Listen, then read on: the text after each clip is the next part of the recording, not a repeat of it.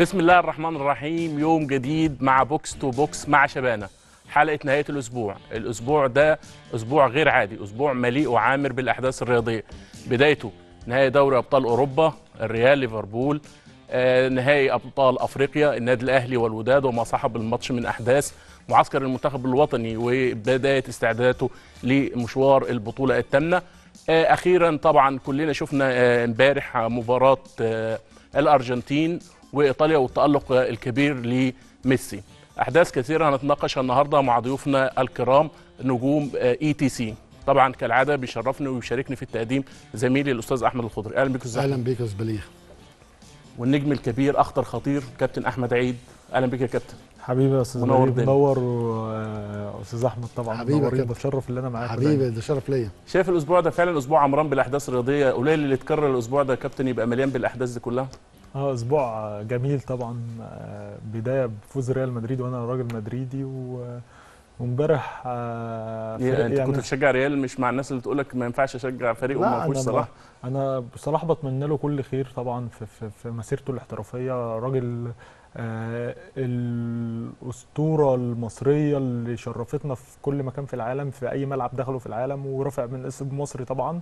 آه لكن في النهاية أنا مشجع لريال مدريد من آه من سنة 97 فالموضوع بالنسبة لي الموضوع مختلف. آه أتمنى لصلاح التوفيق. لكن أنا بشجع فرقتي مفيش مشكلة خالص. وطبعا كنت ضد الت- التطاولات اللي حصل اللي طالت كابتن محمد صلاح أو طالت محمد صلاح الفترة اللي فاتت ومش معاها خالص يعني. إحنا طبعاً ما- استقباله الجماهير يا كابتن أحمد قبلها بيوم قلنا اتحاد الكره والوزاره يتحرك بس للأسف ما فيش أي تحرك. حتى الناس النهارده كلها ساخطة على اللي حصل مع الكابتن محمد هو صلاح أنا وبتقارن بينه باستقبال سون. أنا أنا أنا اللي عرفته إن هو شخصيا ما ما كانش حابب وهو كان جاي في وقته وما كانش حابب يكون الناس متواجدة كتير في المطار. هو يعني مركز أكتر الفترة اللي فاتت حتى شفنا له تويتة النهارده منزلها اللي هو بيتكلم آه، إن خلاص آه، كان نفسه أكتر واحد يجيب دوري الأبطال ديت لنادي ليفربول ويرجعها تاني النادي بس ما حصلش. وهو هو بيبدأ يفكر في الموسم الجديد وعايز الموسم الجديد يبدأ من بكرة. ده تصريحه النهارده. ده دليل اللي هو مركز وخلاص اللي فات خلص و... دايما ودايما مركز مع ليفربول ولا مع المنتخب مع؟ ليفربول. هو هو التغريده اللي قالها النهارده على ليفربول وبداية ال season الجديد. ال season الجديد بقى بدايته هيبقى آه، منتخب مصر. هو الراجل ملتزم مع منتخب مصر وأول واحد موجود في المعسكر أهو. موجود مع يعني الناس أقصد إن. هو النهارده في المنتخب وبيغرد أو على النهارده على ليفربول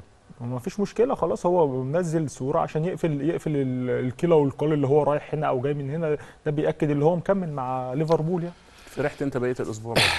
آه فرحت بقيت الأسبوع طبعا امبارح بالنهاية بميسي أنا فرحان لميسي مع إن أنا مش يعني ميسي طبعا من اللعيبة بالنسبة لي هو أحسن لعيب في تاريخ الكورة أنا مش أنا مدريدي كمان بس أنا بقول اللي أنا شايفه ميسي لعيب مش هيتكرر طبعا بأرقامه بأهدافه بالموهبة امبارح بتاعته. كان كمان يعني استعاد يعني استعاد ميسي اللي الناس بتتكلم عنه كان امبارح كل حديث الصحف العالمية عن ميسي وتألقه في المباراة.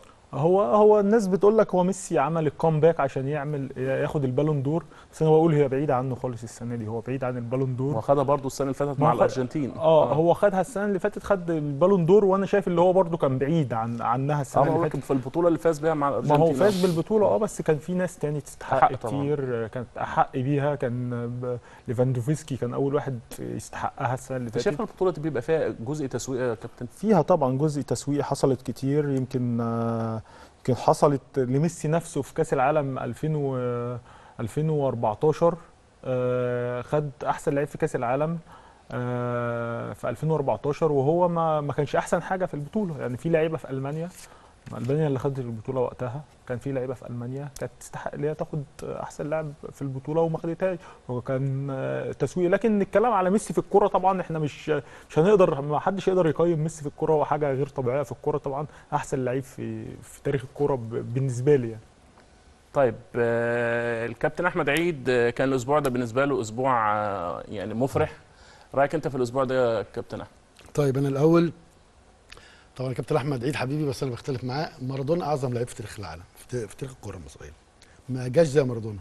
يعني أنا بالنسبة لي أنا برضه مش اختلاف جامد ده لا يعني. طبعا. آه طبعا. وأنا مدريدي زي كابتن أحمد عيد بس أنا في الماتش مع ليفربول اتنزلت يوميها بس يعني أو الساعة ونص دول بس عشان خاطر صلاح. ورجعت في آخر الماتش خلاص بقيت ريال مدريد يعني ما عنديش مشكلة.